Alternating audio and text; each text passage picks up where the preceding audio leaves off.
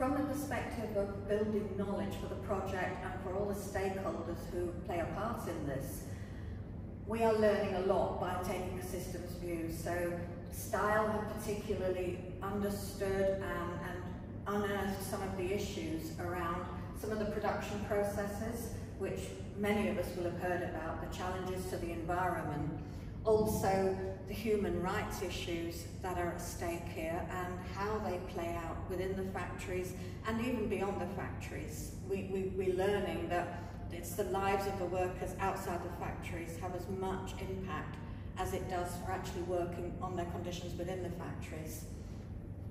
All of these mechanisms and frameworks are creating knowledge that becomes more sustainable. It can be used to transfer capability, which is another key objective of this program.